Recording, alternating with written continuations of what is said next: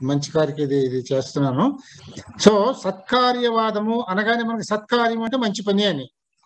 మంచి పని అనడానికి అందులో వాదమే ఉంది అని మనకు అనిపిస్తుంది. దాని జనరల్గా కామన్ సెన్స్తో సత్కార్యం అంటే మంచి పని అని కదా. కానీ ఇక్కడ అర్థం సత్ కార్యము అంటే మంచి పని అనే అర్థం కాదు ఇక్కడ. ఇక్కడ అర్థం ఏమిటంటే సత్ కార్యము. సత్ అంటే సత్యమైనటువంటి మంచి అని కాదు. సత్యమైనటువంటి కార్యము సత్ కార్యము సత్యమైనటువంటిది కార్యము. అంటే అర్థం ఏమిటంటే సత్యమైనటువంటిది కార్యము అని అంటే కార్యము అంటే ఏమిటండి? కారణం నుంచి మనకి అది విడిగా మనకి లభిస్తున్నది. కారణం నుంచి జన్మించినట్లుగా మనకి అది కనిపిస్తున్నది. అంటే మనకు అది కనప కనపడటం ఎలా కనపడుతుంది? ఒక కారణం నుంచి ఉద్భవించినట్లుగా మనకు కనపడుతుంది. కానీ ఇక్కడ సత్ కార్యము అని అంటే మీరు ఏదైతే అందులో నుంచి జన్మించింది అనుకుంటున్నారో అదేమి కొత్తగా జన్మించలేదు. ఇది ఆల్రెడీ దాని కారణంలో ఉన్నది. అందుకనే అది సత్ అని అంటాం. సత్తు అని అంటారు మామూలుగా దాన్ని. అంటే ఊప్రతి ఏం చేర్చుకుని మా పలకడానికి వీలుగా సత్ అంటే సత్ అంటే సత్యము. అంటే అది ఎప్పుడు ఉన్నదే లేనిది కాదు. అయితే ఇది ఇప్పుడు ఆ ఒక కారణంలో నుంచి కార్యం పుట్టినప్పుడు కారణంలో అది ఉండబట్టే పుట్టింది. ఒకవేళ అక్కడ లేదనుకోండి లేనిదే అది అక్కడి నుంచి పుట్టదు. అంచేత ప్రతి కార్యము కూడా సత్తే. ఇది సత్కార్యము అంటాం. అంటే ప్రతి కార్యము కూడా యథార్థమైనదే. అంటే ఉన్నదే అది మళ్ళీ మనకి మేనిఫెస్ట్ మేనిఫెస్ట్ అవుతుంది. రీమానిఫెస్ట్ అవుతుంది తప్ప లేనిది కాదు అని ఇక్కడ దీనికి అర్థము. దీన్ని సత్కార్యవాదము అని అంటాం. సత్ కార్యవాదము అంటే ప్రతి వస్తువు అంటే మనకి ఆవిష్కరింపబడే ప్రతి వస్తువు కూడా దాని కారణం నుంచి ఆవిష్కరింపబడే ప్రతి వస్తువు కూడా ముందు ఉన్నదే కొత్తగా వచ్చినది కొత్తగా సృష్టింపబడినది కాదు అని ఇక్కడ దీని సిద్ధాంతము అన్నమాట. ఈ సిద్ధాంతాన్ని మనం నిరూపించాలి కదా దీనికి ఉదాహరణలు చూపించాలి కదా చెప్పాలి కదా ఒక ఆర్గ్యుమెంట్ చెప్పాలి కదా. ఇది ఎలా చెప్తున్నావు నువ్వు? ఉన్నది ముందే ఉన్నది అని ఎందుకు చెప్తున్నావు అని అంటే దీనికి ఒక ఐదు కారణాలు చూపించారు అన్నమాట. ఈ ఐదు కారణాలు దేనికి చూపించారు? కారణం నుంచి ఒక కార్యం జన్మించింది అంటే ఆ కారణంలో కార్యం అప్పటికే ఉన్నది. లేదు కొత్తగా ఏమి రాలేదు అక్కడ లేనిదేది రాలేదు. కార్యం అక్కడ ఉందే ఉన్నది.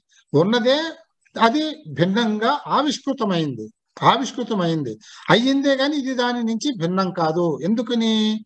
కార్యం ఎప్పుడూ కూడా కారణం ఎప్పుడు కూడా కార్యం నిండా ఆవరించుకొని ఉంటుంది. కారణాన్నంతా కప్పే కార్యం ఉంటుంది కార కార్యాన్నంతా కప్పే కారణం ఉంటుంది. కనుక ఇది కొత్తగా వచ్చినది కాదు అని నిరూపించటానికి ఐదు రీజన్స్ చెప్పారు. అవి ఏమిటంటే అసదకరణాత్ ఉపాదాన గ్రహణాత్ సర్వసంభవాభావాత్ శక్తస్య శక్యకరణాత్ కారణభావాచ్చ సత్కార్యం. ఇక్కడ చూడండి అసద్ అక- అసద్ అకరణాత్ అంటే అసత్ అకరణాత్. ఈ ముందు పద విభజన చూడండి అర్థాలు నేను చెప్తాను. అసద్ అకరణాత్ అంటే అసత్ అకరణాత్. తర్వాత ఉపాదాన గ్రహణాత్ ఉపాదాన గ్రహణాత్. ఇది ఒక్కసారి అందరినీ మ్యూట్ చేస్తానండి కొంచెం డిస్టర్బెన్స్ వస్తుంది. ఓకే. కనుక ఉపాదాన గ్రహణాత్ ఇది రెండవ కారణం. మూడో కారణం. సర్వసంభవాభావాత్ అంటే సర్వసంభవ అభావాత్. ఇది మూడో కారణం.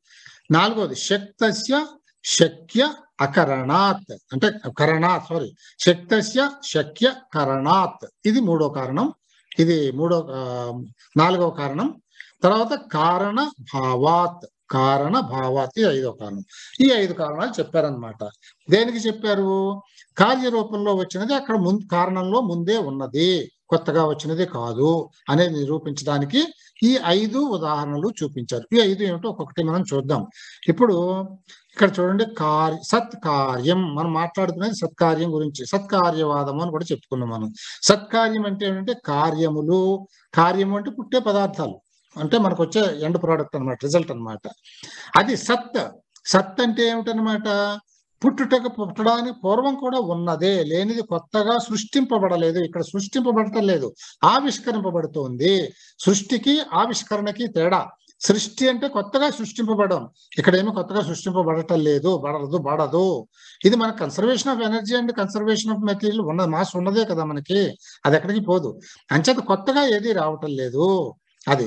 కేవలం ఆవిష్కరణ అది ఆవిష్కరింపబడుతున్నది. అంటే it is getting manifested in in a different shape అంతే తప్ప అక్కడ కొత్తగా సృష్టి అనేది ఏది జరగలేదు. దీన్ని సత్కార్యము అంటే అర్థం అది. దీనికి ఐదు కారణాలు ఏం చెప్పారంటే నిరూపించడానికి. ఒకటి అసదకరణాత్. అంటే అసత్ అకరణాత్. కరణాత్ అంటే చేయబడటం వలన అని అకరణాత్ అంటే చెయ్యబడకపోవడం వలన అని. మీరు ఇలా ఎందుకు చెప్తారంటే నేను ఇంత డీటెయిల్డ్ గాను మీకు మళ్ళీ వచ్చి అర్థమైపోవాలి ఇప్పుడే. రేపు పొద్దున అది కారిక చూడగానే అర్థం స్ఫురించేయాలి మీకు. అందుకని అనమాట అసత్ అకరణ అసత్ అంటే సత్ కానిది. అంటే అంతకు ముందు అసలు లేనిది. సత్ అంటే ఏం చెప్పుకున్నాం? అది కార్యరూపం దాల్చక ముందు కూడా ఉన్నదే ఆవిష్కరింపబడింది. ఇది సత్ అని చెప్పాం. అసత్ అంటే ఏమిటి? అసలు లేదు అది అటువంటిది ఏది లేదు అక్కడ.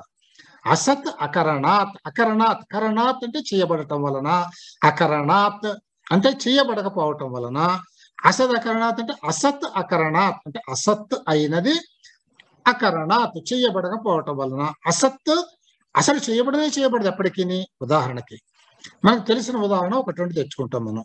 మనం సామాన్యంగా వాడేటటువంటివి రెండు మాటలు ఉన్నాయండి. కుందేటు కొమ్ము అంటాం. వాడు కుందేటు కొమ్ము పట్టుకున్నాడు ఇట్లా అంటూ ఉంటాం కదా మనం. అలా ఆకాశ పుష్పము ఇవి మనకి వాడుకలో వస్తున్నటువంటి మాటలు. ఇవి ఏమిటంటే అలా మాట అవి అలా వస్తూ ఉన్నాయే తప్ప ఆకాశ పుష్పం అనే పుష్పం ఏమైనా ఉంటుందండి? లేదు. అది అసలు లేదు. ఆకాశ పుష్పం అనేది లేదు. అలాగే కుందేలుకు కొమ్ము ఉంటుందండి ఎక్కడైనా? ఉండదు. కుందేలు కొమ్ము ఉండదు. అంచది కుందేటు కొమ్ము ఆకాశ పుష్పం ఇలాగే గొడ్రాలి బిడ్డ అంటారు. గొడ్రాలు అంటేనే బిడ్డ లేదని అర్థం. గొడ్రాలి బిడ్డ అంటే అవి ఒక్కొక్క సందర్భంలో ఈ ఈ రకమైన ప్రయోగాలు వస్తూ ఉంటాయి అన్నమాట అవి. ఈ ప్రయోగాలు వస్తాయే తప్ప ఇవి నిజంగా వస్తువులు లేవు అవి. అటువంటి వస్తువులు ఏమీ ఉండవు. ఉండవు అంటే అసత్తులు అవి. ఇప్పుడు మీరు ఇది అసత్తు కదండి దీన్ని మీరు సృష్టించగలరా? ఒక కుందేటు కొమ్మని పట్టరాగలరా మీరు? ఒక ఆకాశ పుష్పాన్ని తీసుకురాగలరా మీరు? తీసుకురాలేరు. ఎందుకు రాలేరు? అవి అసలు లేవు. మీరేం సృష్టించలేరు లేని దాన్ని. అందుకని మొట్టమొదటి కారణం ఏం చెప్పాడంటే అసత్ అకరణాత్. అసత్తులైనవి అంటే ముందు లేనివి. సత్ అంటే అవి ఆవిష్కర అవి ఆవిష్కరణకి పూర్వమున లేనటువంటివి అసత్తులు. ఉన్నటువంటివి సత్తులు. అటువంటి అసత్తుల్ని మనం అకరణాత్ మనం తయారు చేయలేం. మనం సృష్టించలేం. వాటిని తీసుకురాలేం. అందుకని అదొక కారణం చెప్పాడు. రెండో కారణం ఏం చెప్పాడు? ఉపాదాన గ్రహణాత్. ఇప్పుడు ఉదాహరణకి అంటే ఉపాదాన ఉపాదానము అంటే ఏమిటంటేనండి అది మీకు తెలిసే ఉంటుంది అందరికీ. ఉపాదానము అంటే ఆ బేస్ మెటీరియల్ అనమాట బేస్ మెటీరియల్. ఇప్పుడు మనకి బేస్ ఉపాదానం ఏంటంటే మనకి పంచిపోతారు అలాగే ఒక కుండని చేసాము అనుకోండి దానికి ఉపాదానం ఏంటంటే మట్టి మట్టిలోంచి కదా కుండని చేస్తాం. ఇప్పుడు ఒక షర్ట్ వేసుకున్నాము. ఈ షర్ట్కి ఉపాదానం ఏంటంటే దారాలు అంటే ప్రత్తి. కాటన్. అదే కదా దీనికి ఉపాదానం. ఉపాదానము అంటే దీంట్లో ఇది తయారైన బేస్ మెటీరియల్ అని అర్థం మనకి. ఇక్కడ ఉపాదాన గ్రహణాత్ అంటే బేస్ మెటీరియల్ని గ్రహణాత్ తీసుకోవడం వలన అంటే ఉపాదానాన్ని తీసుకోవడం వలన అంటే అర్థం ఏమిటండి? ఒక వస్తువుని తయారు చేయడానికి అంటే ఒక కార్యాన్ని సృష్టించడానికి మనం ఒక పర్టికులర్ ఉపాదానాన్ని తీసుకుంటాం కానీ ఇంకొక ఉపాదానాన్ని తీసుకుంటే రాదు. ఉదాహరణకి మీరు కుండ తయారు చేయాలి. మట్టిని తీసుకొని మీరు దాన్ని తయారు చేసి అన్ని కుమ్మరి పనులు చేస్తాడు కదా అవన్నీ చేసి దాన్ని కాలిస్తేనే మీకు కొండ వస్తుంది తప్ప మీకు ఇంత పత్తి ఇచ్చి కొండని చేయాలంటే మీరు చేయగలుగుతారండి? చేయలేం కదా మనం. అంచేత దానికి ఒక వస్తువుని ఒక కార్యాన్ని మనం తయారు చేయాలి అంటే ఒక వస్తువుని మనం కనిపెట్టాలి ఆవిష్కరించాలి అని అంటే దానికి ఒక పర్టికులర్ ఉపాదానాన్ని మాత్రమే ఆ ఉపాదానం నుంచే ఆ కార్యం వస్తుంది. అలాగే అంటే మట్టి నుంచి కుండను తయారు చేయగలరా కానీ ప్రత్తినిచ్చి కుండను తయారు చేయడానికి తయారు చేయగలరా? చేయలేరు. ఎందుకని? ఎందుకు మట్టి నుంచే వస్తుంది అది అంటే ఆ కుండ అనేది మట్టిలో ఉన్నది లేకపోలేదు. అందులో ఉన్నదాన్నే మీరు దాన్ని ఆవిష్కరింపజే సూక్ష్మ ఉండడము అంటే కొండ ఎక్కడుంది మట్టిలో అనకండి. సూక్ష్మ రూపం అనమాట ఇక్కడ చెప్పేవన్నీ సూక్ష్మ రూపాలు. అంచేత మట్టిలో కుండ సూక్ష్మ రూపంలో ఉన్నది. దాన్ని మీరు అంతా దాన్ని ప్రోగు చేసి దాన్ని మీరు ఒక ఒక షేప్లో దాన్ని ఆవిష్కరింపజేస్తున్నారు. అది లేక ఇప్పుడు ప్రత్తిలో కొండ ఉండదు. సూక్ష్మ రూపంలో కుండ ఉండదు. అందుకనే మీరు పత్తిలో నుంచి కుండను తయారు చేయలేరు. అలాగే మీరు ఆ అలాగే మీరు మట్టిలో నుంచి బట్టను తయారు చేయలేరు. ప్రతిస్తేనే బట్టను తయారు చేయగలరు. మట్టి ఇచ్చి బట్ట తయారు చేయమంటే చేయగలరా? చేయరు. ఎందుకంటే ఈ బట్ట అనేటటువంటి అది ఆ వస్తువు అందులో లేదు ముందు లేదు అది. అందులో సత్తుగా లేదు అక్కడ. ఆ మట్టిలో. అందుకని రాదు. అంచేది దీన్ని ఏమంటున్నాం అన్నమాట? ఒక కార్యాన్ని ఆవిష్కరింప చేయడానికి మనం ఒక ఒక నిర్దుష్టమైనటువంటి నిర్దిష్టమైనటువంటి ఉపాదానాన్నే గ్రహిస్తున్నాం కానీ ఏది పడితే అది ఇచ్చి ఇది చేయరా అంటే మనం చేయలేము. అంచేత దీన్ని ఉపాదాన గ్రహణాత్. ఇది ఎందువల్ల జరుగుతుంది అనమాట మనం తీసుకున్న ఉపాదానంలో మీరు ఏ కార్యాన్ని అయితే చేస్తున్నారో ఆ కార్యం అందులో ముందే ఉండి ఉండబట్టే వచ్చింది. అందులో ముందు ఉంది కనుకనే ముందు నుంచి ఉన్నది కనుకనే మీరు ఈ కార్యాన్ని చేయడానికి ఆ కారణాన్ని గ్రహిస్తున్నారు. మరొకటి ఏది గ్రహించినా రాదు అని ఇక్కడ చెప్పాడు అన్నమాట రెండోది. అలాగే సర్వ సంభవాభావాత్ అంటే సర్వ సంభవ అభావాత్. సర్వ సంభవ అన్నిటి నుంచి సంభవము అభావాత్ జరుగుదు కనుక. అభావము అంటే లేకపోవడం. అన్నిటి నుంచి ఇందాక పైన చెప్పినటువంటి ఇది అన్ని కార్యాలు నుంచి ఆ అన్ని కార్యాలు అన్ని కారణాల నుంచి పుట్టవు. అంటే అన్ని సర్వ సంభవ అభావాత్. సర్వము అంటే అన్ని కారణాల నుంచి సంభవము. అన్ని కార్యాలు సంభవించవు. అభావాత్ అభావాత్ అని సంభవించవు. అభా సంభవ అభావాత్ సంభవించకపోవటం వలన అంటే అన్ని కారణాల నుంచి అన్ని కార్యాలు సంభవించకపోవటం వలన ఇక్కడికి ఇక్కడికి ఇంచుమించుగా ఈ రెండు ప్యారలల్ గానే ఉంటాయి. ఇక్కడ ఒక కార్యాన్ని చేయడానికి ఒక నిర్దిష్టమైనటువంటి ఉపాదానాన్ని గ్రహిస్తారు. ఎందుకంటే అలా ఎందుకు చేయాలంటే అందులోనే అది ఉన్నది కనుక ముందే. సత్ కనుక. సర్వసంభవ అభావాత్. ఇక్కడ ఏమిటన్నమాట అన్నిటిలో నుంచి అంటే అన్ని కారణాల్లో నుంచి అన్ని కార్యాలు రావు. ఉదాహరణకి మట్టినిచ్చి బట్టను తయారు చేయమన్నట్టు ఉంటుంది అన్నమాట. రాదు. అందులో నుంచి ఇది రాదు అని ఇక్కడ చూపించాడు. తర్వాత శక్తస్య శక్య కరణాత్ అంటే ఇక్కడ శక్తి శక్యము అనే రెండు మాటలు తెలియాలండి. శక్తి అంటే ఏమిటంటే మనకి ఒక పనిని చేసే సామర్థ్యాన్ని శక్తి అంటాం. శక్యము అంటే ఆ సామర్థ్యంతో చేసే మనం చేసే పనిని శక్యము అంటాం.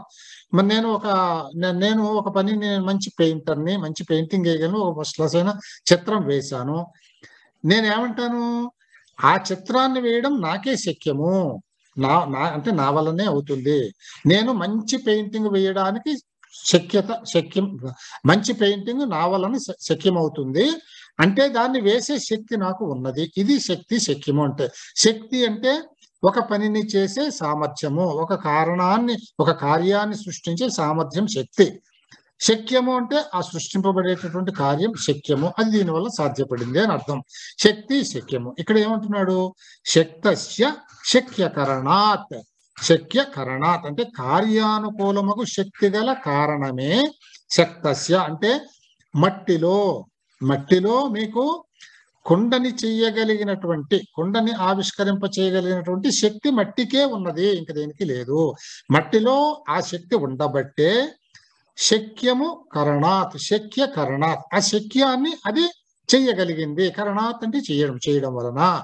అంటే ఏమిటనమాట కుండని సృష్టించగలిగిన శక్తి మట్టికి ఉండబట్టే అది ఆ కుండ అనే శక్యాన్ని అంటే కార్యాన్ని తయారు చేయగలిగింది పుట్టింపగలిగింది ఉద్భవింపజేయగలిగింది ఆవిష్కరింపజేసింది అని అర్థం అనమాట అంచేత శక్తస్య శక్యకరణాత్.